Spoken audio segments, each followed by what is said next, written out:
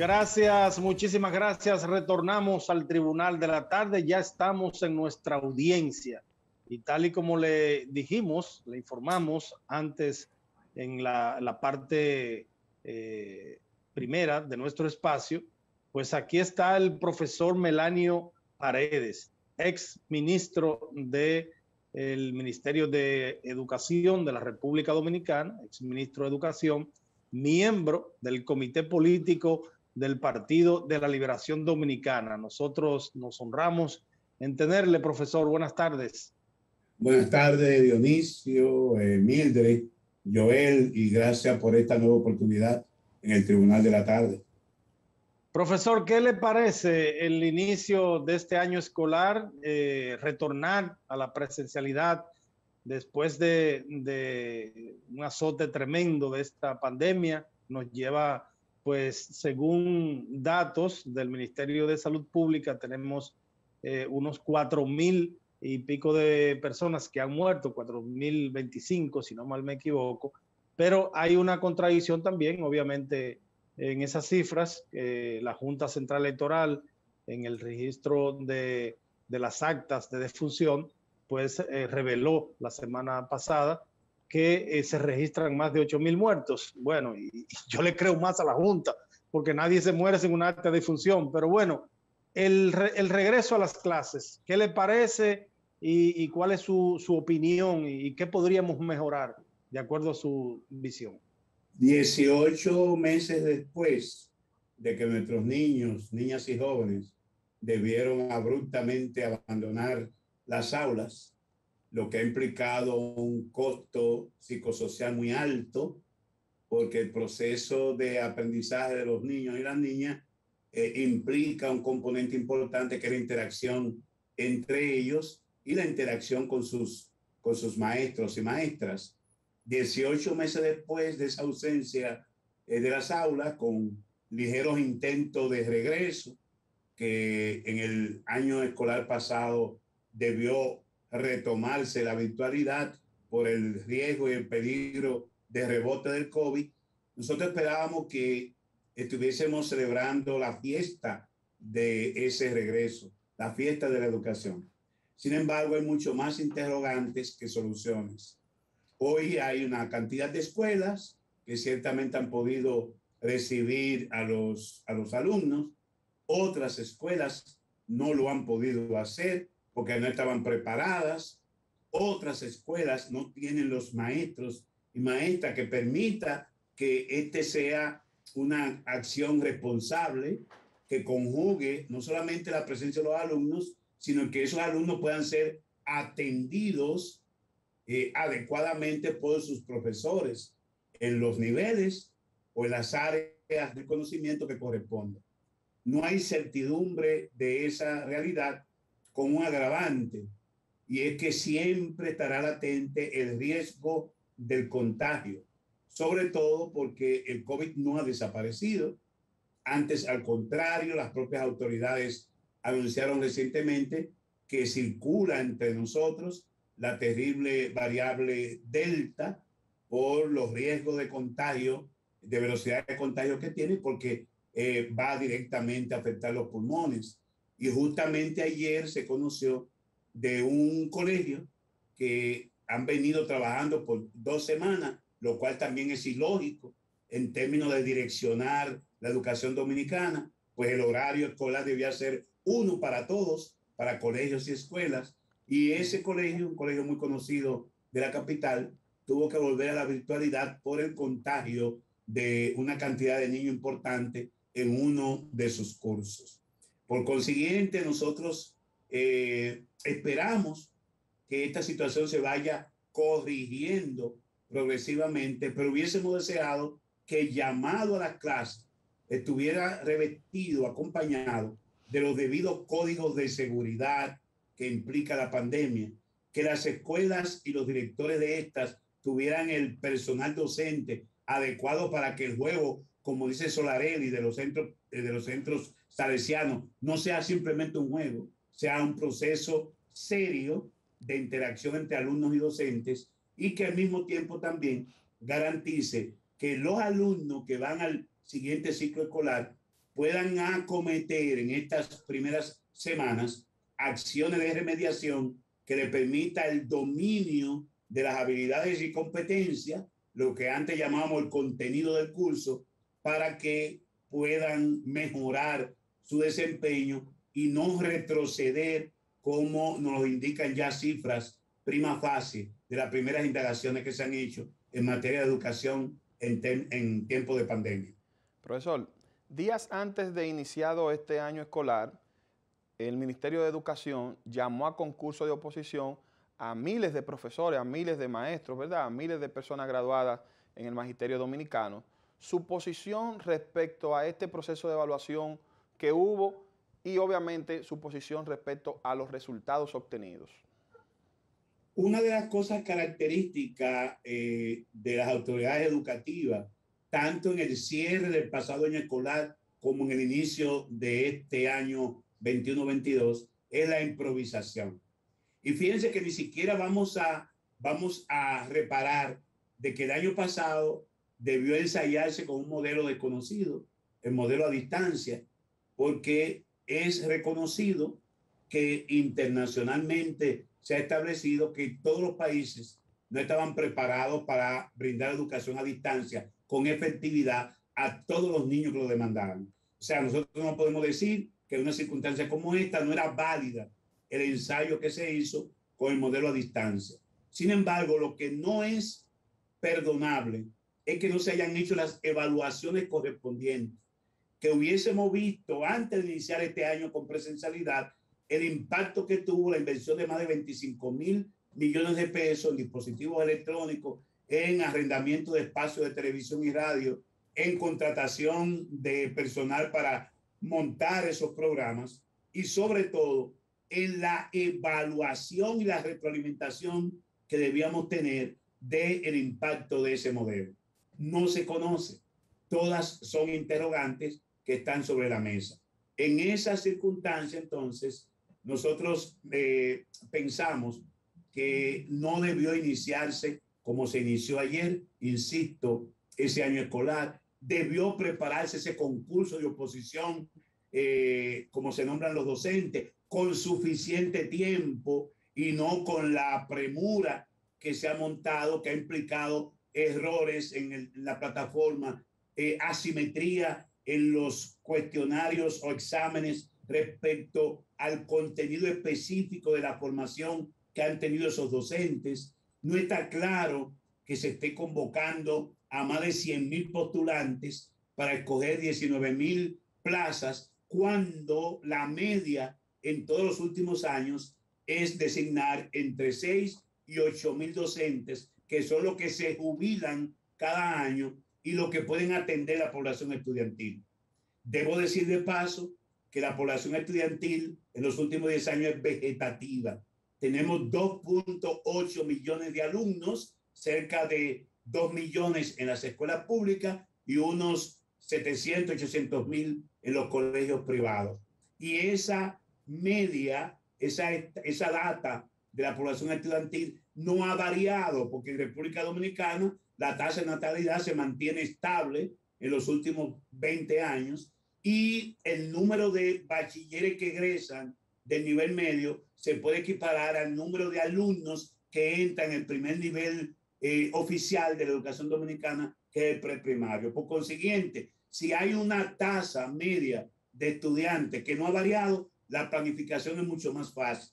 Entonces, tendríamos que ver cuántos maestros de lengua española, de ciencia, de idiomas o de deporte necesitamos en San Juan y convocar a ese concurso específico en esa regional para poder captar las plazas que necesitamos. Igual debe hacerse en cada una de las restantes 17 regionales. Al parecer no ha sido así. Las informaciones muy sesgadas que se reciben es que de unos 11 mil que postularon en una prueba que tuvieron que ser suspendidas o pospuestas, apenas 528 pasaron.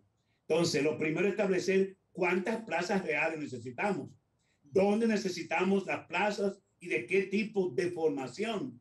Y en tercer lugar, entonces, este, provocar un concurso que permita que tengamos un nivel de prueba que los maestros efectivamente puedan pasarla y el ministerio tener la certidumbre de que tiene las competencias para las plazas que van a desempeñar. Nada, nada de eso se ha hecho y la nota característica, insisto, es la improvisación. Profesor, uno de los aspectos más publicitados en el inicio de este año escolar ha sido la de impulsar la lectura en las escuelas públicas. Creo que el plan se llama Dominicana Lee. Dentro de este plan de Dominicana Lee también se, eh, se trató la entrega de la lectura, del, primero se habló de la lectura de, de, la Biblia en las escuelas y segundo, después también se hablaba de que era que se iba a entregar como un libro más para ser ya consumido por los estudiantes de educación pública. Me gustaría conocer su opinión en este sentido y también de una manera u otra, el hecho de que se, se ponga de manera, si lo, lo, dice un profesor en un aula, se pueda entender que es casi obligatoria, si ese mandato pues pudiera contravenir la disposición existente en la Constitución. Mira, yo en esto siempre insisto en mis entrevistas que no me gusta hacer politiquería. Fui de los primeros el año pasado que saludó la iniciativa de las autoridades de iniciar un modelo desconocido, o sea que nadie tenía certidumbre de que pudiera funcionar y fue el modelo a distancia. En un país en que el acceso a Internet, la disponibilidad de banda ancha es mínima, ya en mi caso, en mi gestión lo intentamos en el año 2010, incluso se contempló la posibilidad de utilizar los cables de la Corporación de Electricidad para tirar un cable de fibra óptica de San Pedro a Santiago a través de las autopistas que permitiera el acceso a Internet en esa banda poblacional que no, pudi no pudiera cubrir el 70% de los alumnos. Y esa, esa programación fue imposible. Por otro lado, nadie tiene certidumbre de que en los hogares dominicanos, eh, muchos de los cuales tienen dos y tres niños, pudieran darle seguimiento a la impartición de las materias que se hacían por televisión y radio. En esas condiciones, entonces, yo no puedo hacer politiquería ni, ni, ni contribuir con el autoengaño. Una de las anuncios que hizo el ministro la, al comenzar el año escolar, el 2 de noviembre, el año escolar pasado, es que se iba, había una modalidad y que la jornada extendida, que es un signo distintivo de la gestión del presidente Medina y sus ministros de educación, la iban a llenar de contenido con la llamada cátedra ciudadana.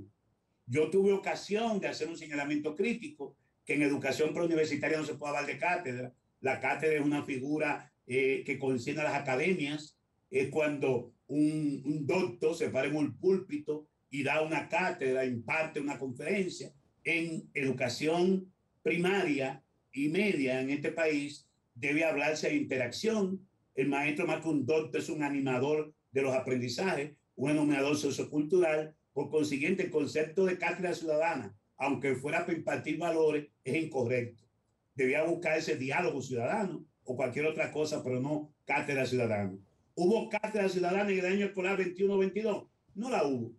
¿Habrá eso que anuncien ahora, Mildred, que tú señalas, de manera rimbombante lo han anunciado? Habría que ver, habría que ver, porque este gobierno se caracteriza por anunciar muchas cosas y no cumplir ninguna. Entonces, en materia de educación no podemos hacer politiquería, no podemos estar haciendo anuncios que no estemos en capacidad de cumplir. Respecto al tema de la Biblia, evidentemente que yo que conozco al ministro Fulcar, hoy puedo decir que es un hombre diferente. No sabía que él postulara por la educación confesional. Lo conocí siempre como un hombre que propugnó por la educación laica. Yo no me opongo a que las escuelas se lea la Biblia. Lo que digo es que el acto de enseñanza y aprendizaje es un acto muy serio para estar improvisando. A mí me correspondió hacer tres sesiones con la Asamblea del Episcopado Dominicano en los años 2008 al 2010 para discutir el contenido de la materia formación humana y religiosa, que no católica, sino cristiana.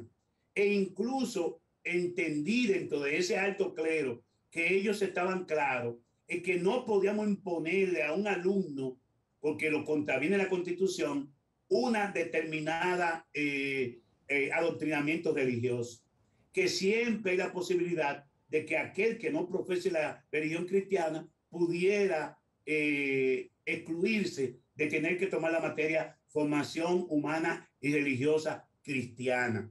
Por consiguiente, nosotros entendemos que es también un acto de politiquería hablar de entregar Biblia en las escuelas cuando faltan tantas y tantas cosas en nuestras escuelas. Yo decía en un tuit hace un par de días que esta es una sociedad eminentemente religiosa y cristiana y que es muy difícil que en un hogar dominicano no haya al menos una Biblia. No haya al menos una. Hay hogares que hay tres, hay una por habitación. Entonces, ¿qué sentido tiene entregar Biblia en esa escuela cuando lo que necesitamos es el texto de la materia, formación humana y religiosa, que contiene los aspectos de valores del humanismo cristiano que tenemos que mostrar y enseñar a los alumnos? Porque usted no puede dejar a que ellos lean e interpreten la Biblia a su antojo. ¿Cuántas denominaciones cristianas no hay? Infinidad de denominaciones cristianas, tantas como interpretación de la Biblia hay. Profesor, ¿hacia dónde, ¿hacia dónde irá la República Dominicana en materia de educación cuando los informes nos hablan de niños que no comprenden eh, un texto y con otros informes y recientemente vimos incluso en los exámenes eh, impartidos por el Ministerio de Educación para la formación de nuevos profesores, eh, que todo prácticamente no pasaron, se quemaron todos.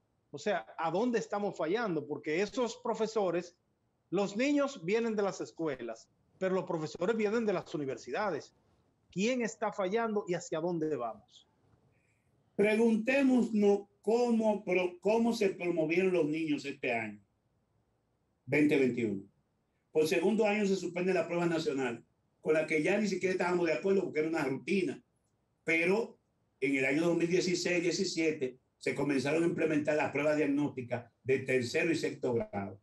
En todo proceso, eh, y esa es la, gestión moderna de la calidad, usted no corría al final, usted corría en el proceso. Por eso la pertinencia de la prueba diagnóstica de tercer grado, en que se puede ver si los niños y niñas saben leer y escribir, ya en ese grado deben leer comprensivamente. Y luego otra prueba diagnóstica en sexto grado, antes de entrar al nivel medio, para también ver qué tipo de direccionamiento hay que hacer en ese proceso de escolarización de nuestros niños y niñas. Se suspendieron las pruebas nacionales, se suspendieron las pruebas diagnósticas, se han pasado automáticamente a todos los niños y niñas, a pesar que no porque lo diga el estudio del Ministerio de Economía y Desarrollo, que es un refrito, no es ningún estudio nada. Eso ya lo habíamos dicho en mi fundación en el año 2010, cuando hicimos una comparación en lo que nosotros denominábamos ranking escolar de las escuelas dominicanas, de las pruebas regionales del laboratorio latinoamericano eh, con sede en Chile, de las pruebas nacionales y de las pruebas PISA, que la tomó el país por primera vez en el 2015. Y en el 2016, en ese informe que brindamos a la sociedad dominicana, afirmábamos que conforme los resultados de esas pruebas, los niños dominicanos de 10 años están en capacidad de, leer comprensivamente un texto simple es lo que te informa la revista, con el 62% de los niños dominicanos no leen comprensivamente un texto simple. Si un alumno que se supone alfabetizado en tercer grado es incapaz de leer comprensivamente un texto simple, ¿cómo puede tomar unas pruebas? ¿Cómo puede entender un cuestionario que se diseña con resultados eh, de pruebas objetivas? si él no puede interpretar ni leer comprensivamente un texto. Ustedes saben dónde tuvo el mayor, el mayor, la mayor quemazón, para decir una palabra, de los alumnos de 153 escuelas que tomaron la prueba PISA en el 2015 y la tomaron en línea, en que no interpretaban, no comprendían la pregunta que se le hacía. Por ahí comenzó la quemazón. Entonces, es un tema grave y en este país solemos hacer, tenemos los escrúpulos María Apareció eso y todo el mundo se, se escandalizó. Es que tenemos un serio problema de aprendizaje en el país, estructural. Por eso la, la, por eso la, la, el esfuerzo que hizo Melanio Paredes en su momento por poner la educación de cabeza. Aquí tenemos que cambiar la modalidad. No podemos eh, esperar resultados distintos haciendo más de lo mismo. Aquí hay que cambiar la ecología del aula. Aquí hay que cambiar esos textos tradicionales que no enseñan, no sirven para nada. Aquí tenemos que llevar a los niños y las niñas a enfrentarse con una realidad cuyo conocimiento muchas veces están en un smartphone y son superiores a lo que tiene su maestro. que entiendan, aquí lo que hay que enseñar a los niños a razonar, a razonar. Decía, decía Wilman en el siglo pasado respecto al sistema educativo norteamericano, porque no es solamente un problema exclusivo de este país. Lo que pasa es que vivimos autoengañándonos. Decía Walt un intelectual famoso en Estados Unidos, que los sistemas educativos modernos se reducían a pasar las notas de la libreta del profesor a la libreta del alumno sin que mediara el razonamiento. Muchas gracias. Muchas gracias, muchas gracias, profesor Melanio Paredes. Gracias por acceder una vez más a esta entrevista en el Tribunal de la Tarde. Muy agradecido. A ustedes. Bueno, señores, con esta interesantísima participación del profesor Melanio Paredes, es ministro de Educación y miembro del Comité Político del Partido de la Liberación Dominicana, llegamos al final del Tribunal de la Tarde, agradeciéndole a todos ustedes la amabilidad que tienen de sintonizarnos cada día. Mañana, si Dios lo permite, de 5 a 6 de la tarde, aquí estaremos en Telefuturo, Canal 23.